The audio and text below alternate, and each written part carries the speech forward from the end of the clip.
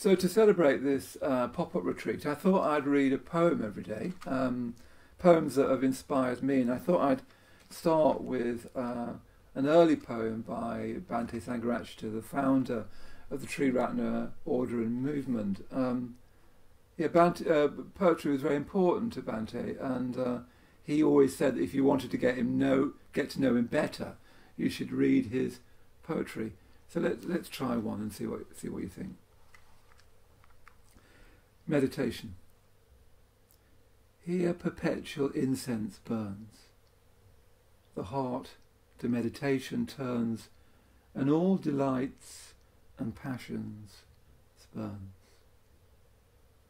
A thousand brilliant hues arise, more lovely than the evening skies, and pictures paint before our eyes.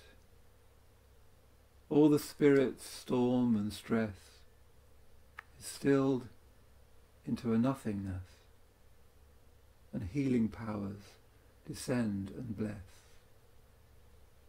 Refreshed, we rise and turn again to mingle with this world of pain, as on roses falls the rain.